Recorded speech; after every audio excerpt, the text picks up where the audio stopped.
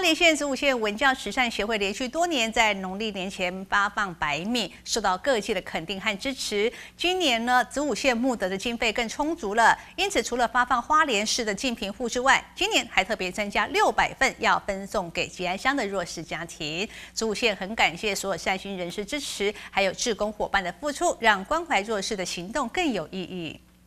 来，新年快乐哈！花莲县子午县文教慈善协会连续多年在农历年前发放白米活动，受到各界的支持及肯定。今年子午县募得经费更充足，因此除了发放花莲市的近贫户，还增加六百份要发送给吉安乡的弱势家庭。这一次在花莲一月八号，我们已经发送了一千份。那由于今年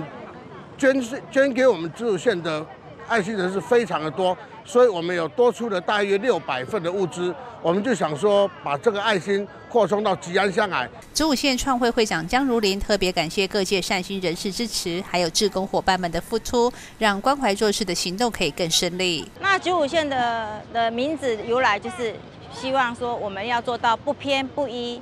帮助到社会上需要帮忙的人。所以我们今年收募集到更多的费用，所以延伸到吉安乡来帮助需要。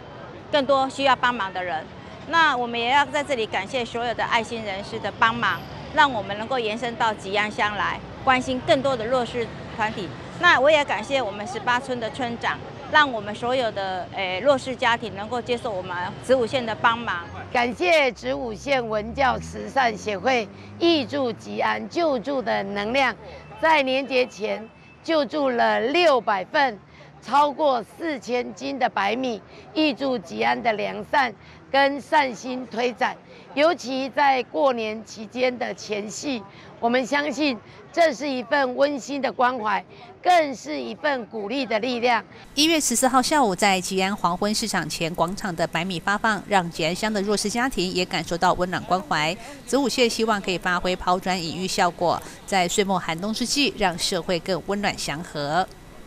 据实力群吉安乡报道。